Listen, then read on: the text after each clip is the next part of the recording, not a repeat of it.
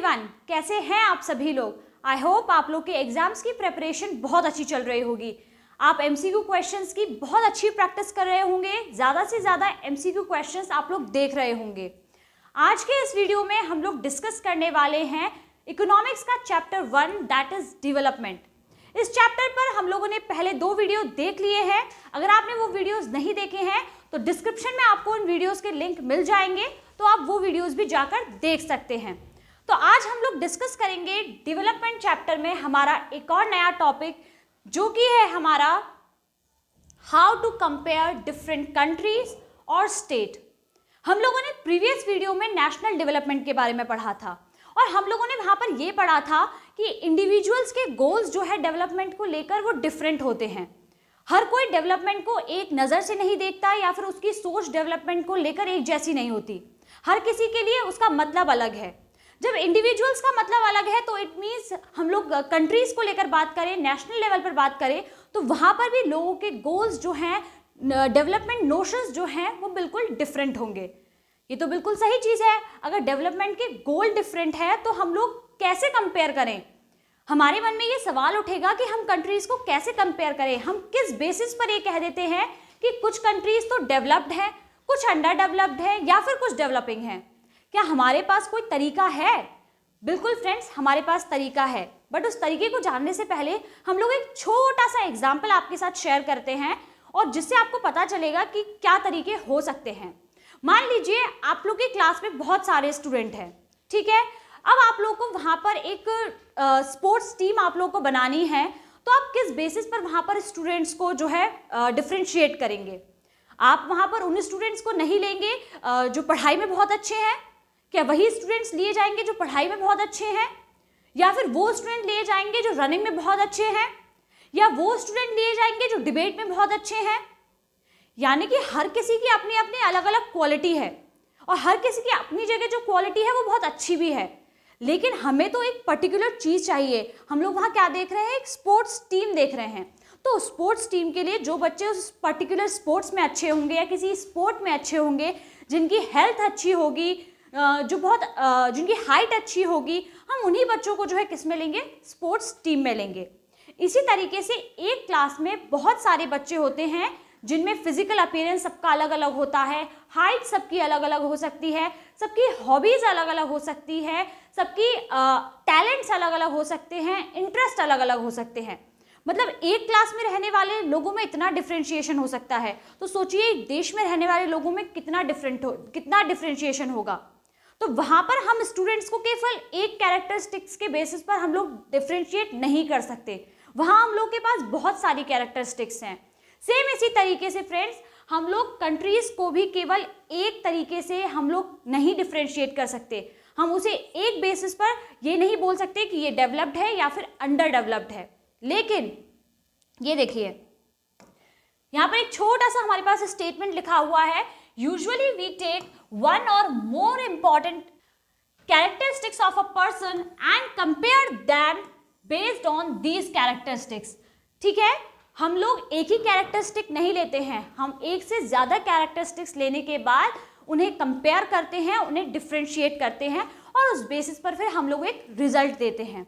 ये चीज़ हमने समझी एक छोटे से एग्ज़ाम्पल पर। हमें उसे बहुत बड़े लेवल पर नहीं, बहुत छोटे से लेवल पर ले लिया, जो कि था हमारा एक क्लासरूम ठीक है? जहाँ पर हर स्टूडेंट की अपनी अलग अलग कैरेक्टरिस्टिक्स होती हैं, जिसके बेसिस पर हम उन्हें डिवाइड कर देते हैं। जैसा कि आपको यहाँ दिख रहा है, एक तो है बहुत लंबा बच्चा, एक है बहुत छोटा बच्चा। ठीक है? ये एक कैरेक्टरिस्टिक हो सकती है।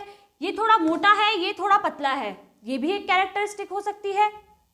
तो मतलब सभी का अपना अपना एक अलग अलग अपीरियंस होता है। तो हम डिफरेंट कैरेक्टरिस्टिक्स के बेसिस पर किसी भी कंट्री को या फिर एक छोटे से क्लासरूम को हम डिफ्रेंशिएट कर सकते हैं कंपेयर कर सकते हैं। अब हमारे जो कंट्रीज़ हैं, हमारे दिमाग में एक सवाल उठता है कि हम लोग किस बेसिस पर उसे हम कंपेयर करें।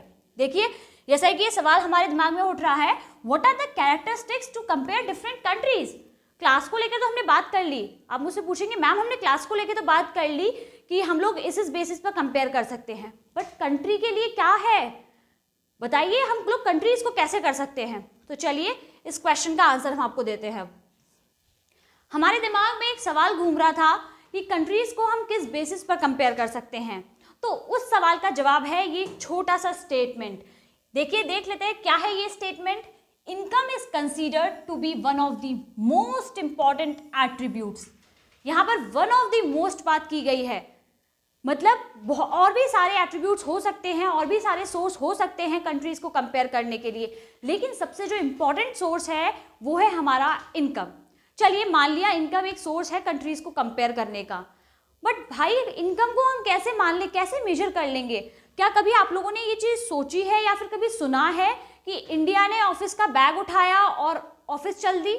या फिर यूएस ने बैग उठाया और ऑफ़िस चल दी? यार, ये तो बहुत अजीब चीज़ है, ना ही कभी सुना है, ना ही कभी देखा है। तो फिर कैसे इनकम एक एट्रीब्यूट हो सकता है कंट्रीज़ को कंपेयर करने का? बिल्कुल हो सकता है। देखिए हमारी जो कंट्रीज़ हैं कंट्रीज़ में रहता कौन है? एक कंट्री में सभी जो रेजिडेंट्स रहते हैं, जो पीपल रहते हैं, वो लोग जो कमाते हैं उसी वही जो है क्या हो जाती है? कंट्री की इनकम हो जाती है, जिसे हम लोग टोटल इनकम बोलते हैं। ठीक है? जिसे हम लोग टोटल इनकम कहते हैं। उस कंट्री में अर्न करने वाले लोग जितना कमाते हैं, उन सबको अगर प्लस कर दिया जाए तो वो हमारी टोटल इनकम कहलाती है। बट टोटल इनकम को है हम एक सही एट्रीब्यूट नहीं मानते हैं। हम टोटल इनकम के बेसिस पर किसी कंट्री को डेवलप्ड या फिर अंडर डेवलप्ड हम नहीं रिज़ल्ट दे सकते हैं उस चीज़ का। ऐसा क्यों? इसकी अपनी कुछ लिमिटेशंस हैं इसलिए। आपको मैं बहुत छोटे से एग्ज़ाम्पल से इस चीज़ को समझा देती हूँ। देखिए, मान लीजिए एक कंट्री है जो है ए इसका साइज़ थोड़ा और बड़ा कर लेते हैं हम लोग। ये देखिए, ये हो गया थोड़ा ए ठीक है, ये पूरा ए है। साइज़ थोड़ा छोटा हो गया था, कोई बात नहीं। और यहाँ पर है एक कंट्री जिसका साइज़ है थोड़ा छोटा, वो हो गई बी ठीक है? मान लीजिए यहाँ पर रहते हैं ए कंट्री की जो पॉपुलेशन है वो सिक्स पीपल है. थ्री फोर फाइव सिक्स यहाँ पर छः लोग रहते हैं. बी कंट्री में मान लीजिए तीन लोग रहते हैं. बी कंट्री में तीन लोग रहते हैं. मेरी ड्राइंग पर मत जाइएगा बहुत ख़राब है. ठीक है? तो यहाँ सिक्स लोग रहते हैं और बी में थ्री लोग रहते हैं. यहाँ के जो ए कंट्री की जो टोटल इनकम है, वो मान लीजिए थर्टी थाउज़ेंड है। बहुत छोटे नंबर लेंगे, छोटी पॉपुलेशन के साथ करेंगे ताकि इजीली हमें समझ में आ जाए। और जो दूसरी कंट्री है कंट्री बी उसकी टोटल जो इनकम है, वो ट्वेंटी वन थाउज़ेंड ठीक है? अब देखिए टोटल इनकम के बेसिस पर अगर यहाँ कोई भी देखेगा तो वो ये कह देगा कि कंट्री ए जो है, वो डेवलप्ड है in comparison to country B but that's not the reality हमने यहाँ पर सिर्फ़ एक एट्रीब्यूट देखा, एक सोर्स देखा कि टोटल इनकम के बेसिस पर कंट्री ए जो है वो ज़्यादा डेवलप्ड है। बट अगर हम रियलिटी चेक करें यहाँ पर तो ये चीज़ ऐसी नहीं है। यहाँ पर रहने वाला एक इंसान कितना कमाएगा? सिर्फ़ पाँच हज़ार रुपये कितने कमाएगा? क्योंकि छः लोग हैं तो एक इंसान कितने कमाएगा? पाँच हज़ार रुपये और वहीं कंट्री बी में देखिए, एक इंसान अप्रॉक्स सेवन थाउज़ेंड रुपीज़ कमाएगा। तो बताइए, यहाँ पर एक इंसान पाँच हज़ार कमा रहा है और वहाँ पर एक इंसान सात हज़ार कमा रहा है। तो कौन सी कंट्री में लोगों का लिविंग ऑफ़ स्टैंडर्ड लोगों के रहने का तरीका, वहाँ पर जो सुविधाएँ होंगी फैसिलिटीज़ होंगी, किस कंट्री में ज़्यादा अच्छी होंगी? अब आप रियलिटी चेक आपको मिल चुका है कि वो सारी चीज़ें कंट्री बी में होंगी। तो देखिए टोटल इनकम जो है पॉपुलेशन को छुपा लेता है। मतलब हर कंट्री की अपनी अलग अलग पॉपुलेशन होती है, इसलिए हम टोटल इनकम को एक सही सोर्स सही एट्रीब्यूट डिफ्रेंशिएशन के लिए नहीं मान सकते हैं। ठीक है? टोटल हम्म। इनकम का फंडा आप लोग को समझ में आ गया होगा। अब हम उस बेसिस के बारे में बात करेंगे, जिसके बेसिस पर हम कंट्रीज़ को वाकई में कंपेयर करते हैं। और वो है हमारा एवरेज इनकम ठीक है? एवरेज इनकम को हम लोग जो है total income of the country upon total population इस सिंपल से फॉर्मूले से हम लोग निकालते हैं। टोटल एवरेज इनकम को जो है एवरेज इनकम को जो है हम लोग पर कैपिटा इनकम भी बोलते हैं। जिसे हिंदी में बोला जाता है प्रति व्यक्ति आय। एक इंसान कितना कमाता है एवरेजली वो यहाँ पर काउंट किया जाता है। एक कंट्री में रहने वाला एक इंसान एवरेज औसतन कितना कमा लेता है वो हम यहाँ पर जो है काउंट कर लेते हैं। और इस बेसिस पर जो है हम एक कंट्री को डेवलप्ड अंडर डेवलप्ड ये सारी चीज़ें हम निकालते हैं।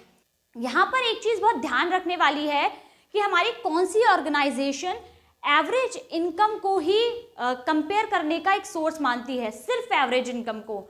वो है हमारी वर्ल्ड बैंक वर्ल्ड बैंक सिर्फ़ एवरेज इनकम के बेसिस पर ही एक रिपोर्ट निकालती है और उस रिपोर्ट पर लिखा होता है कि कौन सी कंट्रीज़ डेवलप्ड है, कौन सी कंट्री अंडर डेवलप्ड है, कौन सी कंट्री डेवलपिंग है।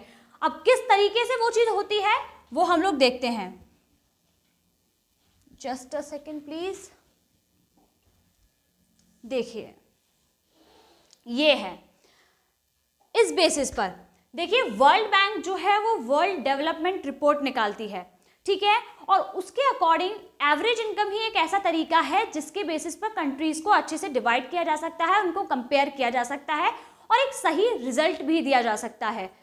लेकिन वो कहते हैं ना, कोई भी चीज़ परफेक्ट नहीं होती है। हम लोग एक कैरेक्टरिस्टिक के बेसिस पर कैसे किसी कंट्री को हम लोग कंपेयर कर सकते हैं? ऐसा तो पॉसिबल नहीं है। तो हमने पहले ही ये चीज़ पढ़ ली है कि एक या एक से ज़्यादा कैरेक्टरिस्टिक के बेसिस पर ही हमें कंपेयर करना चाहिए।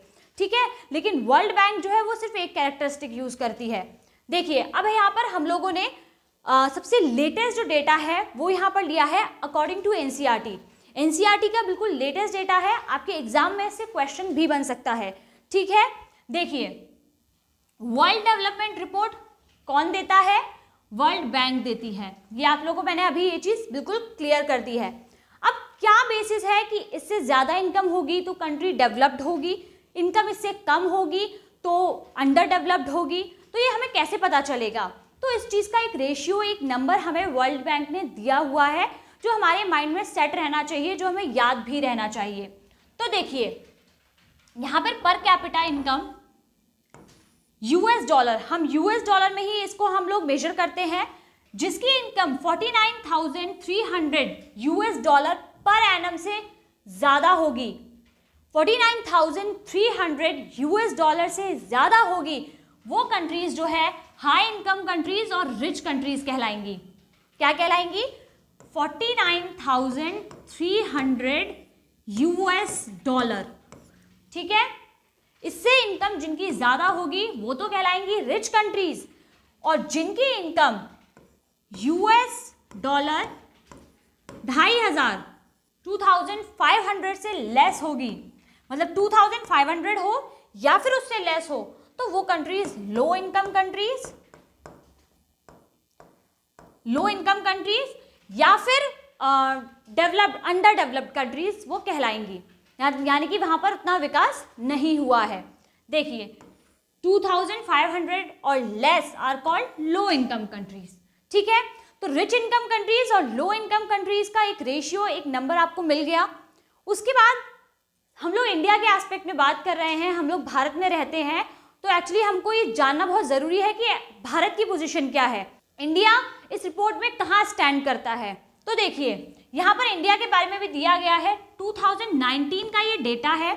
इंडिया की जो इनकम है वो है 6,700 यूएस डॉलर पर एनम अगर हम इंडिया के एस्पेक्ट में बात करें तो यूएस डॉलर 6,700 पर एनम यानी कि सालाना जो पर कैपिटा इनकम है इंडिया की वो 6,700 डॉलर है. अब ये जिसको भी रुपीज़ में निकालना हो तो इस टाइम जो भी चल रहा हो US dollar I think seventy five है इस टाइम तो आप सेवेंटी फाइव से मल्टीप्लाई करके वो निकाल सकते हैं. ठीक है? रुपीज़ में. तो इसीलिए इंडिया जो है किसमें आती है? इंडिया आती है लो मिडिल इनकम कंट्रीज़ में. आप लोगों से इस तरीके का क्वेश्चन जो है आपके एग्ज़ाम्स में भी पूछा जा सकता है कि according to the World Bank report India किस पोजीशन पर स्टैंड करती है? Low income country high income country low middle income country इस तरीके से बहुत सारे ऑप्शन आपको दे दिए जाएँगे। और अगर आपको ये चीज़ नहीं पता होगी कि इंडिया की पर एनम इनकम कितनी है या फिर क्या रेशियो इस टाइम पर चल रहा है तो आप इसका आंसर सही नहीं दे पाएँगे। बहुत सारे स्टूडेंट लेटेस्ट फैक्ट पूछते हैं तो आपकी एनसीईआरटी e के अकॉर्डिंग लेटेस्ट फैक्ट यही है। तो आपको सिर्फ़ यही याद रखना है कि क्वेश्चन जो है वो इसी बेसिस पर बनेगा। तो इंडिया का आप लोग को ध्यान रखना है इंडिया जो है वो लो मिडिल इनकम कंट्री है। गॉट इट आई होप आप लोग को यहाँ तक कोई भी प्रॉब्लम नहीं होगी। हमने अभी तक ये चीज़ पढ़ ली है कि हम लोग एवरेज इनकम के बेसिस पर कंट्रीज़ को डिवाइड करते हैं कंपेयर करते हैं डिफरेंट कंट्रीज़ को। ठीक है? अब हमने यहाँ पर सिर्फ़ एवरेज इनकम के बारे में पढ़ा है। तो क्या सिर्फ़ एवरेज इनकम के बेसिस पर ही कंट्रीज़ को कंपेयर करना ठीक है? सिर्फ़ एवरेज इनकम के बेसिस पर। उसकी भी तो अपनी कुछ लिमिटेशंस होंगी, क्योंकि परफेक्ट तो कुछ भी नहीं होता है। अपनी लिमिटेशंस हर किसी की होती हैं। इसी तरीके से फ्रेंड्स एवरेज इनकम की भी कुछ लिमिटेशंस हैं। ये फ्रेंड्स डिस्पैरिटीज को हाइड कर लेता है। ये कमियों को मतलब जो अमीर और गरीब इंसान के बीच का गैप होता है ना, रिच और पुअर के बीच का जो गैप होता है, वो उसको छुपा देता है। कैसे छुपा देता है? चलिए देखते हैं। Averages are useful for comparison but they also hide disparities मतलब अगर कंट्री में ये हो रहा है कि अमीर अमीर होता जा रहा है और गरीब गरीब होता जा रहा है तो एवरेज इनकम उस डिस्पैरिटी को छुपा देगी, उस डिस्पैरिटी को हाइड कर देगी। ग्राउंड रियलिटी किसी को पता नहीं चलेगी। ठीक है? लेकिन एवरेज इनकम के बेसिस पर जब कंट्रीज़ को कंपेयर किया जाएगा तो वहाँ एक बहुत अच्छा रेशियो आपको मिल जाएगा। वहाँ एक बहुत अच्छी पोजिशन आपको मिल जाएगी। लेकिन ग्राउंड रियलिटी हम आपको दिखाते हैं। देखिए, यहाँ पर भी हमने दो कंट्रीज़ के बेसिस पर कंपेयर किया है country A and country B ठीक है? देखिए, यहाँ पर आप लोग को पाँच लोगों की एवरेज इनकम दी हुई है। यहाँ पर पाँच सिटीजन है कंट्री ए के और आपको उनकी एवरेज इनकम दी हुई है। ठीक है? मंथली इनकम क्या दी हुई है? मंथली इनकम दी हुई है। एवरेज हम लोग अभी यहाँ पर निकालेंगे उनका। देखिए, आप लोग को एवरेज इनकम का फॉर्मूला पता है। मैं यहाँ पर ए आई लिखूँगी एवरेज इनकम के लिए। आर्टिफिशियल इंटेलिजेंस नहीं है एवरेज इनकम है। तो यहाँ पर होगा total income of that country and total population ठीक है? ये। ये इसका फॉर्मूला होता है अब यहाँ पर जो पाँच लोगों की इनकम दी हुई है, पहली कंट्री की अगर हम बात करें, इसको अगर हम प्लस करते हैं तो इसे प्लस करने के बाद जो आएगा, वो आएगा हमारा फिफ्टी थाउज़ेंड आप जो है वो प्लस करके देख सकते हैं। फिफ्टी थाउज़ेंड और टोटल सिटीजन्स कितने हैं? One two three four five population कितनी है? फाइव तो यहाँ, यानी कि यहाँ पर एक इंसान महीने का दस हज़ार रुपये कमा लेता है। कितना कमा लेता है? दस हज़ार रुपये कमा लेता है for country A country A ये है दस हज़ार रुपये चलिए मान लिया। बहुत अच्छी बात है, क्योंकि यहाँ पर ज़्यादा डिस्पैरिटी नहीं है। नौ हज़ार पाँच सौ, दस हज़ार पाँच सौ, नौ हज़ार आठ सौ, दस हज़ार एंड दस हज़ार दो सौ। इस तरीके से जो है, एक हमारे पास एक सही रेशियो है। बहुत ज़्यादा डिफरेंस नहीं है। एक एवरेजन सभी लोग सही कमा रहे हैं। लेकिन एक दूसरी ग्राउंड रियलिटी भी हमारे पास है, उसको भी चेक कर लेते हैं। ये है कंट्री बी के हाल। मतलब कंट्री बी हर जगह खराब हो रही है, मैंने भी कंट्री बी को ही खराब लिया था। इसलिए कोई बात नहीं। कंट्री बी के क्या हाल है? यहाँ पर देखिए फ्रेंड्स फाइव वो है फाइव सिटीजन्स है और उनकी इनकम आपको दी हुई है। ठीक है? अगर इनको भी हम लोग प्लस करेंगे तो वो आएगा फिफ्टी थाउज़ेंड एंड हमारे पास पॉपुलेशन सेम है फाइव और यहाँ भी एक इंसान जो है वो कितना कमा रहा है? दस हज़ार ही कमा रहा है। दस हज़ार ही कमा रहा है। अब जरा मुझे बता दीजिए, यहाँ पर आपको कहाँ पे दस हज़ार दिख रहा है? एक इंसान तो महीने का अड़तालीस हज़ार रुपये फोर्टी एट थाउज़ेंड रुपीज़ कमा रहा है और बाकी के सिटीजन सिर्फ़ five hundred five hundred five hundred कमा रहे हैं। तो यहाँ पर अगर कोई देखेगा मेनली रिपोर्ट्स को देखेगा तो उसको अकॉर्डिंग वहाँ पर हर इंसान जो है वो महीने के टेन थाउज़ेंड एवरेज इनकम तो वो कमा ही रहा है। तो उसके अकॉर्डिंग वहाँ की जो कंडीशन है, वहाँ की जो फैसिलिटीज़ हैं, वो बहुत अच्छी हैं। लेकिन इसने जो है, वो सारी डिस्पैरिटीज़ को हाइड कर दिया। वहाँ पर रिच और पुअर के बीच का जो डिफरेंस था, उसको बिल्कुल हाइड कर दिया। जिसकी वजह से कई बार जो डेवलपमेंट की ज़रूरत होती है हमें जिन चीज़ों की ज़रूरत होती है, इन रिपोर्ट्स की वजह से वो चीज़ें हम तक नहीं पहुँच पाती हैं। क्योंकि हमारी इनकम तो वहाँ पर कुछ और ही शो की जा रही होती है।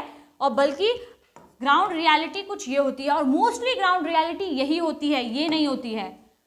ये तो कोई बहुत ही मतलब आप ये समझ लीजिए कि आदर्शवादी कुछ ऐसा हो, कोई देश हो तो वहाँ की हो सकती है। Otherwise most of the ground reality यही होती है। जहाँ पर एक इंसान इतना ज़्यादा कमा रहा है और एक इंसान की हालत जो है वो मतलब ख़राब होती जा रही है, वो पिसता ही जा रहा है। ठीक है? तो फ्रेंड्स आपने एवरेज इनकम की लिमिटेशंस पढ़ ली हैं।